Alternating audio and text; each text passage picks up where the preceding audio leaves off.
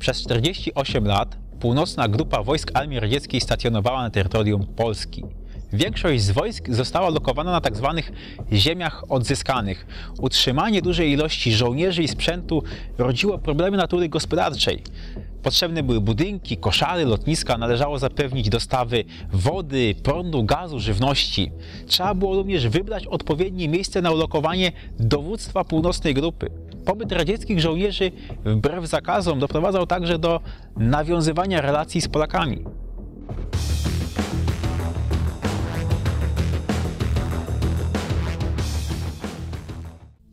Utrzymanie tak dużej liczby żołnierzy wymagało zajęcia dużej ilości budynków i sporego terenu. Nawet jeżeli mówimy tu tylko o jednej skadrowanej armii, to wciąż było to ponad 60 tysięcy żołnierzy. Mało tego, część żołnierzy przybyła do Polski wraz z rodzinami. Na potrzeby pobytu północnej grupy wojsk Armii Radzieckiej zajęto około 70 tysięcy hektarów powierzchni i 4437 budynków, w tym 454 budynki wybudowane własnymi siłami. Całość o łącznej kubaturze ponad 14 milionów metrów sześciennych.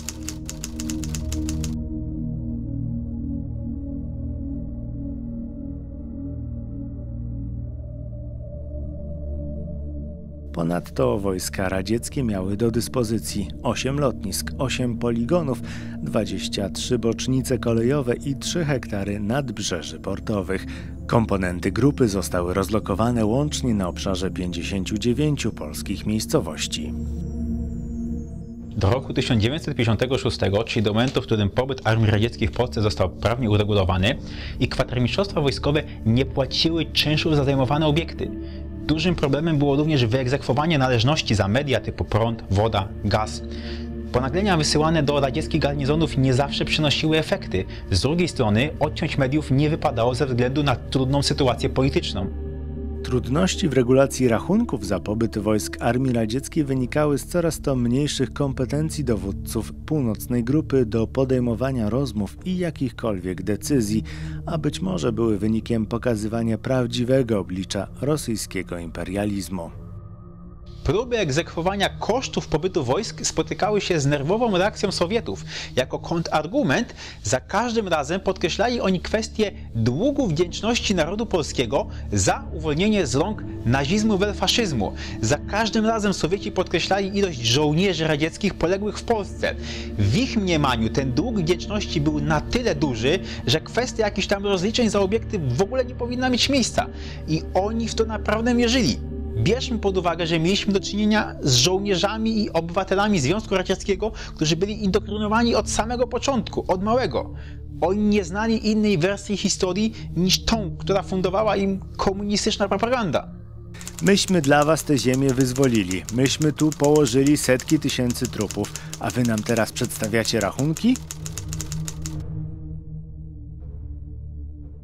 Pobyt na terenie Polski ponad 60 tysięcy żołnierzy wymagał zaopatrzenia ich w różnego typu artykuły i produkty żywnościowe. Realizację tych zamówień powierzono firmom państwowym. Dostawy do garnizonów Armii Radzieckiej miały charakter priorytetowy, a wiadomo jak było w PRL-u, nie wszystkich produktów wystarczało dla obywateli.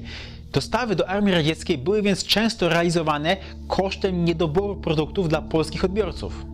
Wszystkie dostawy musiały być realizowane bardzo sumiennie. W przypadku nieterminowości lub ilości niezgodnej z zapotrzebowaniem, dowództwo PGWAR natychmiast interweniowało w ministerstwie. W ślad za tym szły odgórne polityczne naciski. Dlatego też niezależnie od trudności i braków towarów na polskim rynku, dostawy zamówionych towarów dla PGW zawsze były realizowane.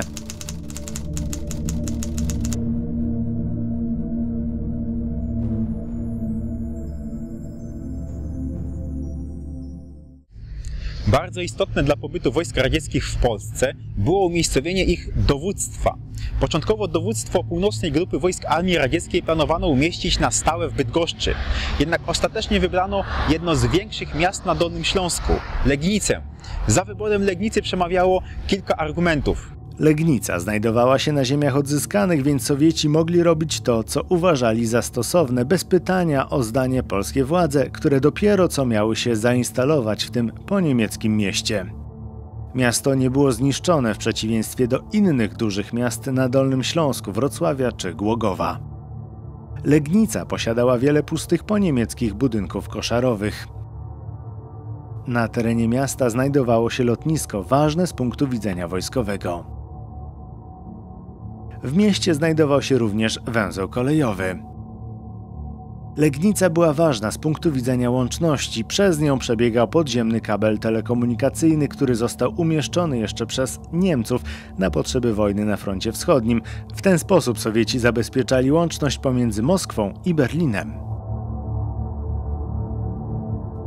Na potrzeby działalności dowództwa północnej grupy Sowieci zajęli dużą część Legnicy. Od roku 1945 zabytkowe niemieckie wille miały teraz służyć sowieckim oficerom i dowódcom wyższego szczebla. Wydzielony i odseparowany został specjalny fragment miasta. Ze względu na swój kształt nazwany został przez Legniczan kwadratem. Obecność dużej liczby Rosjan sprawiła, że Legnica zdobyła sobie miano Małej Moskwy.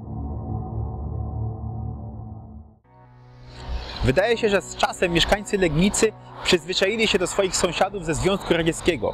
Dla osób, które przybyły po raz pierwszy do miasta, było to jednak coś niezwykłego. Po otrzymaniu skierowania do Legnicy mówiono mi, że idę do zachodniej stolicy Związku Radzieckiego. Rzeczywiście, nie dało się ukryć, że tu nie skończyła się jeszcze II wojna światowa. Tak wielu było tu ludzi w obcych mundurach. Legnica tamtych czasów to miasto wyjątkowej specyfice, związanej z obecnością tych ze wschodu. Nad sklepami szyldy obcojęzyczne, na ulicach słyszy się obcy język. W każdym zakątku miasta ludzie w obcych mundurach. Nieustannie rodziło się pytanie, kto właściwie jest gospodarzem miasta?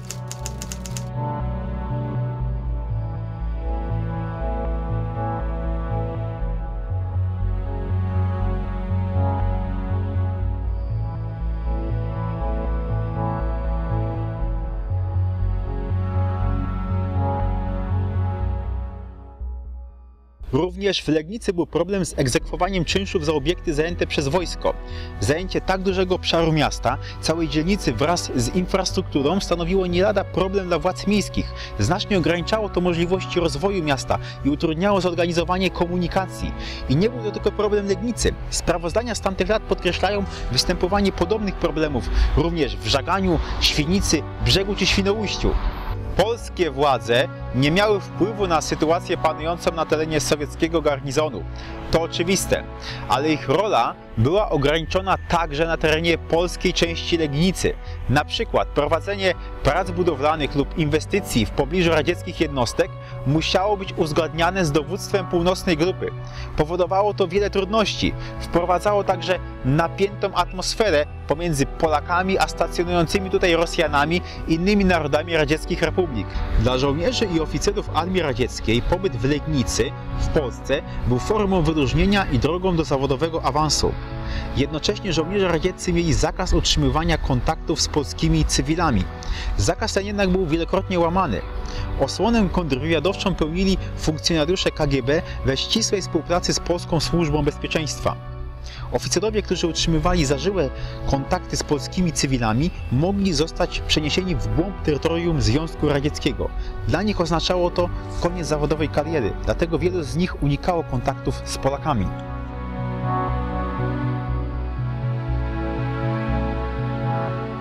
Oni mieli aparaty fotograficzne, tanie zegarki, złoto, tuszonki, konfiety. Tu przypadkowy żołnierz mógł zaproponować ropę razem z kanistrem. Tu ktoś od nich mógł zaproponować kawior, telewizor kolorowy, ruble. Miejscowi zawsze mogli oferować wino dostarczone wprost pod mury koszarowe. Obrotny Polak miał zdjęcia z rozebranymi dziewczętami, odzież, bieliznę, torbę z Madonną. Gdy trzeba było, szukał dla znajomego oficera starą Wołgę, którą ten po remoncie wywoził do swojego kraju. Zarabiał tysiące rubli. Jak widać, wśród wielu negatywnych aspektów pobytu jednostek Armii Radzieckiej w Polsce były również te pozytywne. W relacjach Legniczan często pojawiają się miłe wspomnienia o radzieckich lekarzach, na przykład okulistach, którzy nowymi metodami leczyli nieodpłatnie polskich obywateli. W pamięci mieszkańców zachowały się także wspomnienia o radzieckich żołnierzach, którzy pomagali miastu w czasie powodzi w roku 1977 czy pożaru legnickiego kościoła świętego Jana Chrzciciela. Armia radziecka oprócz obszarów miejskich zajęła także rozległe tereny niezurbanizowane, zazwyczaj na potrzeby funkcjonowania poligonów lub lotnisk wojskowych. Największe poligony znajdowały się w rejonie Bornego Sulinowa 12 tysięcy hektarów powierzchni między Świętoszowem i Strachowem, 14 tysięcy hektarów powierzchni i koło Trzebienia 19 tysięcy hektarów powierzchni. Jedno z większych radzieckich koszar, a w zasadzie osiedli, znajduje się tutaj w Strążu. Zespół koszar zajmował powierzchnię około 152 hektarów. Rosjanie wybudowali tutaj osiedle na bazie poniemieckich obiektów. Dziś blokowiska są opuszczone i popadają w ruinę. Wciąż jednak część z nich znajduje się na wojskowym poligonie. Pstrąże Strachów, opuszczone miasto widmo, pozostaje dziś jednym z symboli obecności przez ponad 40 lat Armii Radzieckiej na Dolnym Śląsku. Zdewastowane bloki, zniszczone pomieszczenia, ściany bez okien, bez drzwi straszą dziś i zarazem zachwycają miłośników historii, którzy odważyli się zapuścić w te okolice. Aż trudno uwierzyć, że jeszcze 30 lat temu stacjonowała tutaj armia, której potęgi obawiała się niemalże cała zachodnia Europa.